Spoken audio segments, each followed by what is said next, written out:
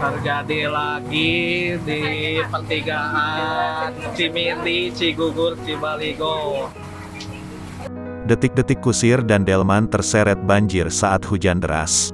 Delman beserta kusirnya terseret arus air yang cukup deras saat banjir viral di media sosial. Arus banjir yang cukup deras menghempaskan delman. Sementara kusirnya berusaha mempertahankan delman beserta kudanya supaya tak terbawa hanyut. Kuda dan kusir kemudian berhasil diselamatkan.